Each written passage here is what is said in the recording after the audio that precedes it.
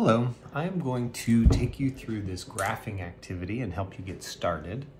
So we're talking about trilobites. That's part of what we're discussing in the unit, and it gives a little information here about trilobites, how long they lived, how many families, um, just some short information.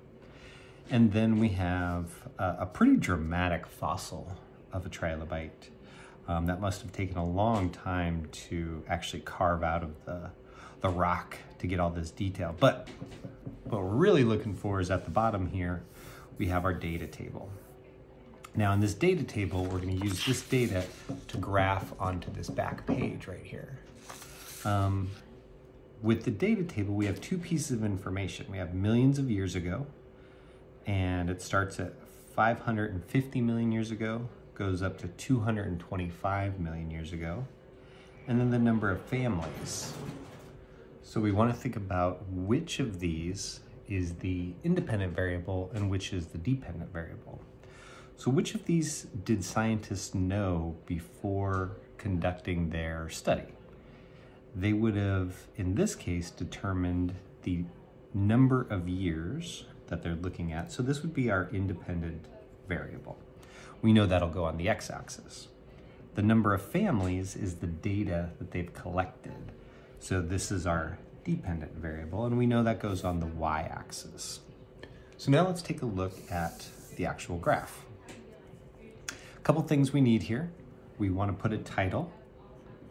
And for this one, usually it's a combination of the two um, data sets that we have. So in this case, we're saying families, trilobite families over time. And it could be some variation of that, right? Um, I said that our independent variable is millions of years ago. So that's gonna go along the bottom. I'm gonna turn it like this. And I'm starting with 550 because that's the furthest back it goes and then I'm going by every 25 years. And if you do this, I want you to keep it going. You should end over here at 225. We want to put a title or a label down here. This is millions of years ago. And now we have to do the y-axis. Now our y-axis, our dependent variable is the number of families. So I can write that in. Number of families. And then I have to put my numbers along the side. Well, my lowest number is zero, so I'll probably start with zero. And my highest number is 63. So I don't have to really go any higher than probably 65. So let's go by fives. 0, 5, 10, 15, all the way up to 60 and 65. I'll add a couple more here. Now you're gonna go and finish this, you know, finish the numbering all the way through here. Once this is all set up, I got my title, I got my labels, I've got my numbers in there, I'm ready to graph. So I look at it first at 550 million years ago, there are zero families. They did not exist yet.